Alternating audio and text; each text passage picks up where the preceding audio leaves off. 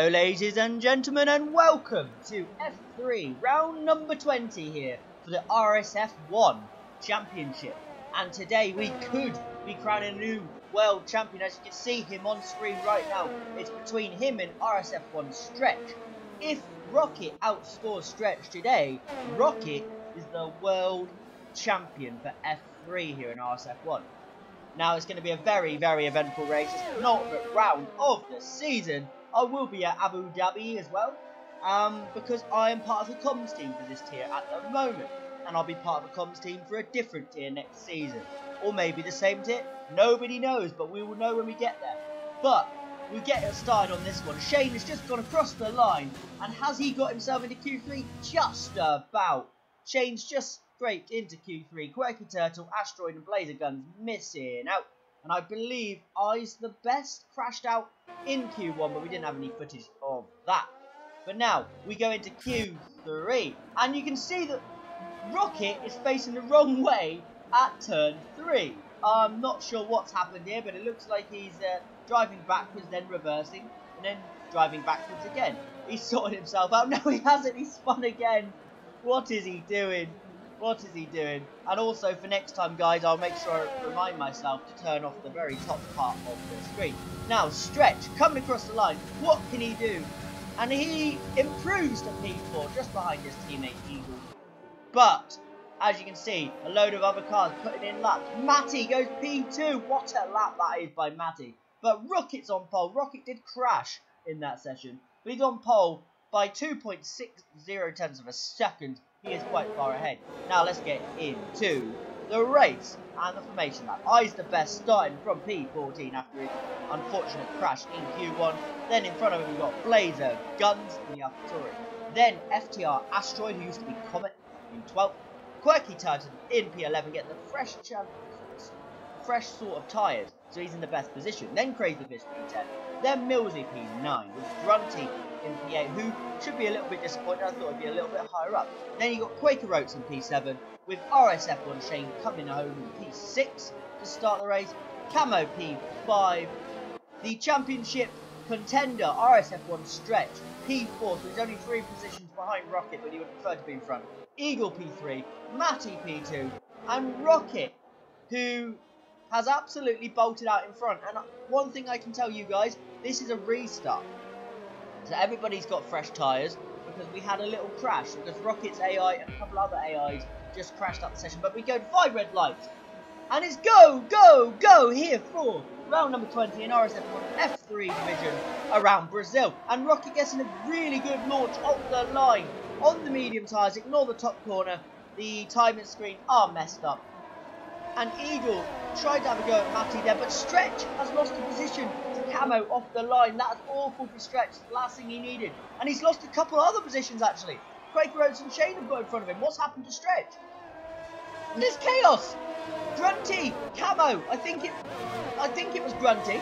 Grunty's gone around. Blazer Guns involved in that. A Ferrari involved in that. Matty, I believe. Chaos. Absolute chaos. And it's brought out a safety car. And we now are watching Musical Rocket absolutely toying with the safety car for some reason. As you can see, he's getting close to it. You hit it, it's either a disqualification or an instant retirement. So he's got to be very careful. Blazer Guns gets himself a time penalty under the safety car, which is awkward. Rocket nearly hit the safety car. What's he doing? Wow. Oh, an asteroid's binned it in the pit lane, and unfortunately for him, it's disqualified him. And you've got a car in front of him, Quaker Oats, who might have been involved as well.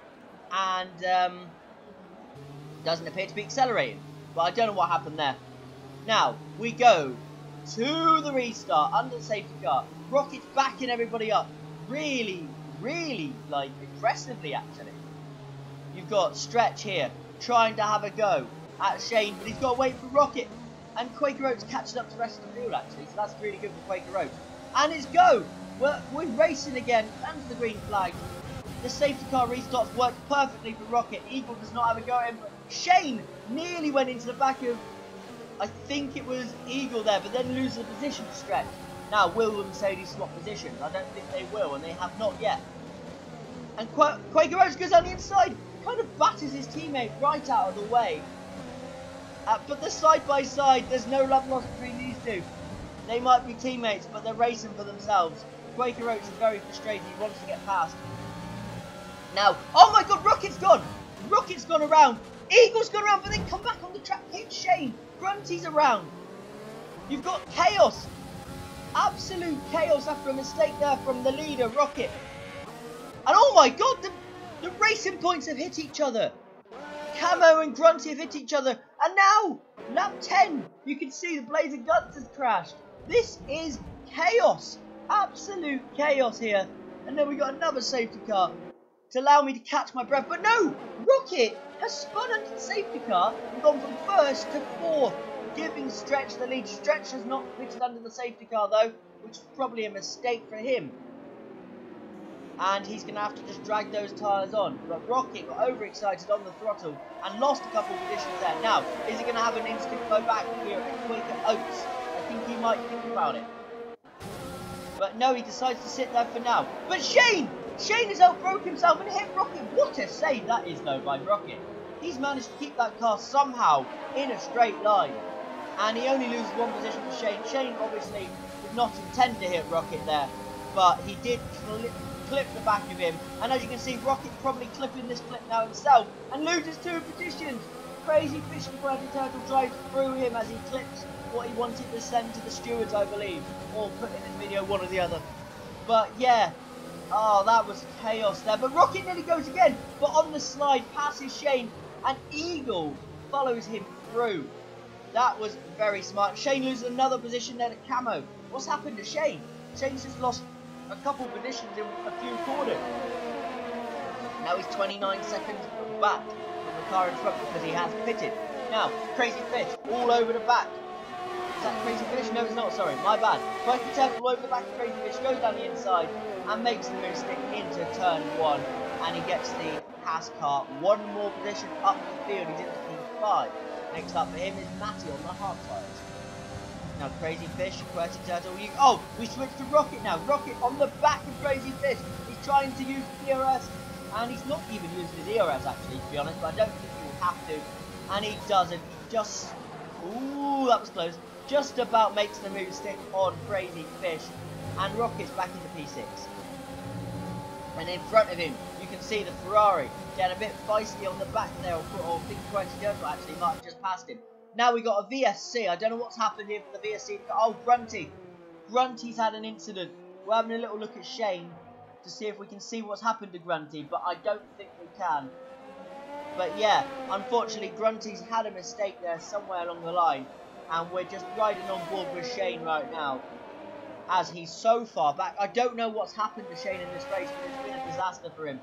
But there you are, Stretch gets a drive-through penalty, and I think that might be championship over. He's on 18 lap old soft tyres, and the game is going to make him go around for another lap. It's making him service drive-through first. So I think the championship's over. Rocket should be the world champion. He's right behind Stretch. Rocket doesn't have to pit again. Stretch has to pit again. Stretch is on 19 lap old soft tyres. Rocket's on 1 lap old soft tyres. I don't think there's any chance here for Stretch. And there you go. He goes into the pits. Rocket goes past him. Now, let's cut to the front here. You can see Matty and Camo going side by side in the background. And I think Camo just about makes the move stick on Matty. As we're watching Crazy Fish all over the back of Quirky Turtles. Now, Rocket's in again. Rocket's pitting again. He's done five laps on these soft tyres and decided that was enough and pitted. He's come out P8, still ahead of Stretch. All he's got to do is beat Stretch today. And Rocket goes around the outside of Millsy. Nice easy overtake. Next up Rocket is Eagle. And we cut here to the end of lap 29. He's all over the back of Eagle. But this will be a very comfortable move for Rocket and he's back in sixth, making his way up the field after his little mistakes. Can he do any more? Can he catch Camo? I'm not sure. But no, I don't think he didn't have enough laps. Just about loses out. But Matty in the Ferrari wins today. Or does he? No, he doesn't. Quaker Oats gets some on penalties. Quirky Turtle comes home in P2. Matty P3. I's the best P4. Camo P5, and the world champion Musical Rocket P6, Millsy P7, Crazy Fish P8, P9, Eagle, P10, Stretch. He put up a very good fight, he tried his best. Congratulations, Rocket, new world title, and I will see you later.